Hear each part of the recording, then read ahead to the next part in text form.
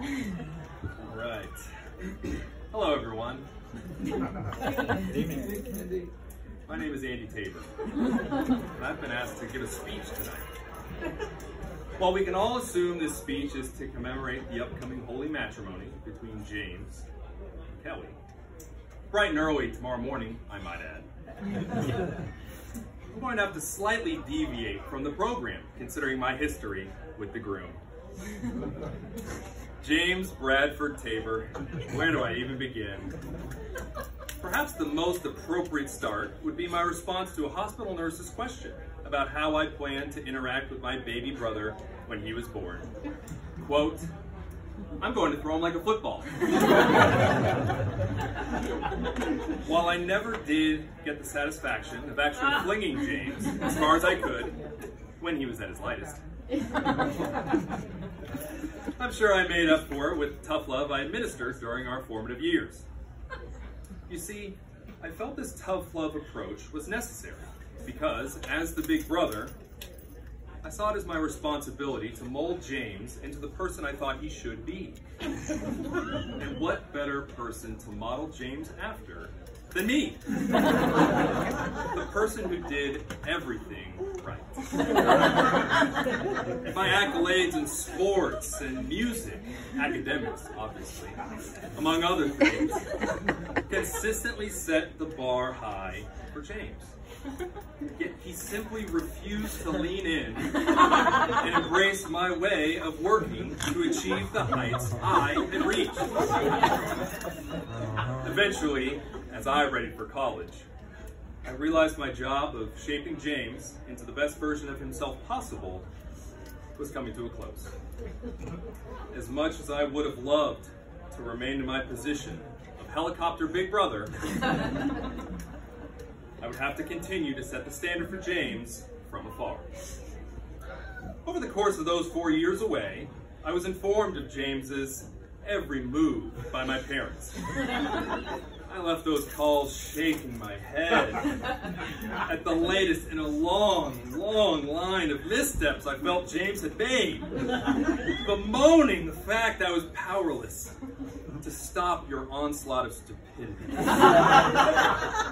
the peak of James's unchecked ridiculousness, which, unlike my father, I will go into, was when he was in high school and created a Twitter account, Coppell Satire, where he posted observations of people and events in the Texas town where we grew up. His musings not only earned him Saturday school, but also a public confrontation with the football team after he sent incendiary tweets about the starting quarterback. I, I was also kept in the loop on how James's college search was going. Out of the plethora of options his years of dedication to schoolwork had provided him, James eventually chose to attend the University of Rhode Island. Woo, woo, woo. It was a decision I vehemently disagreed with. Considering one of his options was a school similar to, similar to my honorable Midwestern institution. I will say though, James, picking the University of Rhode Island, was a decision that went a long way in helping our family reunify after my departure.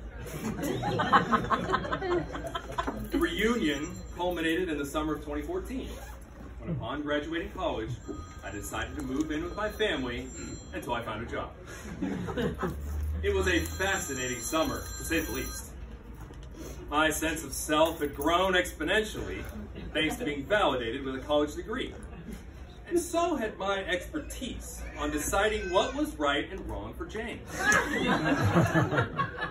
but what I failed to realize was that James had embraced a life without me and was thriving. In this strange new world, James was playing the role of the big brother that I had always known. You see, the big brother is supposed to be the life of the party have the biggest personality in the room, and begrudgingly allow his sibling to tag along. That summer, as I tagged along with James in his comfort zone, surrounded by his friends, and his college and institution. It was the first time in my life that I felt like the younger brother. Of course, I didn't acknowledge James's growth. and I did my best to hold on to power, which I felt was my big brother birthright. but throughout that summer, and even when I moved to glorious Washington, D.C. later that year, I felt the winds of change were inevitable. James's independence would only grow. The official date signifying the end of my reign was July 11th, 2015. If you aren't as attuned as I am to this date and its meaning, let me clarify. July 11, 2015 was the day James and Kelly started dating. Prior to that day, I had shared candid thoughts with James about the pitfalls of entering into a serious relationship while in college. Despite getting the utmost wisdom James once again went against my best wishes and decided to follow his heart. James shared with our family that he was in fact dating one, Kelly Koshio, from Bristol, Rhode Island. You can only imagine what was going through my mind. Confusion, frustration, anger, jealousy?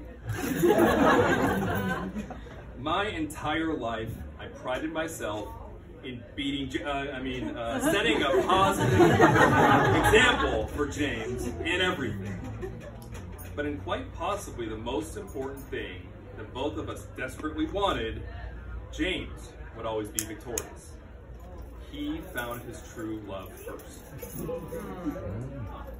This ultimate victory rocked me to my very core.